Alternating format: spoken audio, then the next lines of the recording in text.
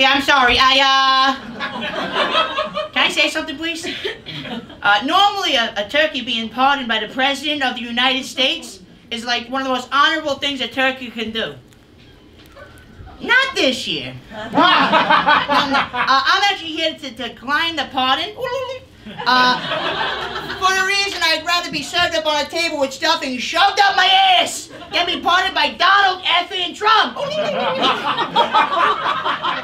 now, the turkey is the forgotten voice of America.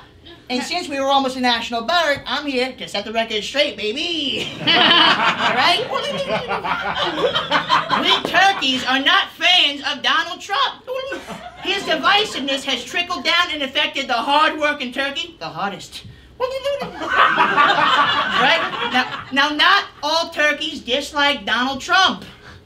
Only the normal ones do. And that's the reason for...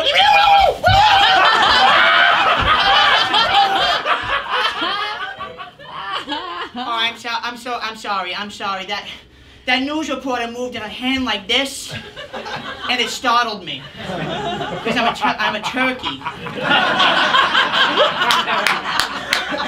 like I was saying, I can no longer even look my grand turkey in the waddle, knowing he supports a man who is so anti-immigration that he forgets that turkeys come from Mexico. That's a fact. That's a fact. Look it up. That's a fact.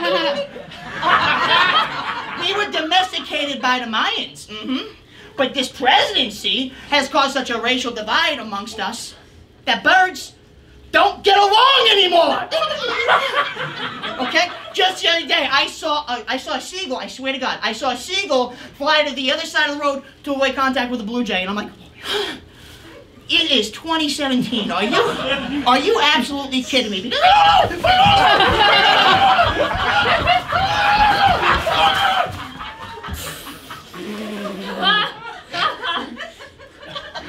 oh I'm sorry. I'm sorry again. I'm so. Oh, that's embarrassing. Oh my God. That staffer, he snapped my photo with the flash on. I thought the sun was exploding. oh. But no, no, now listen, that leads me to my next point, actually, I swear. Okay? Donald Trump's head of the EPA doesn't believe in climate change. And guess what? That's bad for the world. but it's even worse for the turkeys. Okay? The rise in temp- I know, I don't know, listen, I don't know if you noticed, but we are covered in feathers.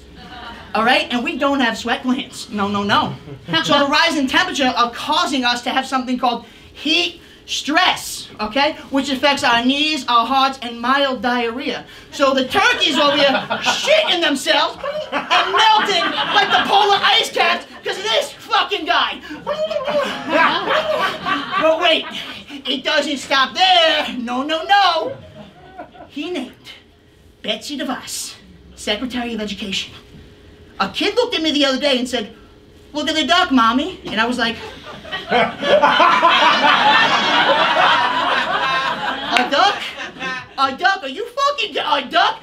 Education should be a number one priority in this country, starting in the barnyard. And that's the reason.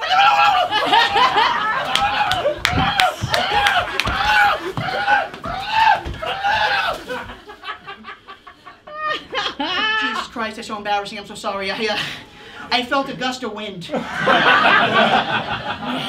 Turkeys hate wind. Oh my God, that's. Whew. In conclusion, I would take a knee in protest of this pardon, but being a turkey, my knees bend in the opposite direction, so it looks like I'm sitting down. So I'll say this. I'm thankful today that I gave the voice of the forgotten turkey back to America. And I hope I inspired all of you to also use your voice. I'm also thankful for corn. Because I'm a turkey.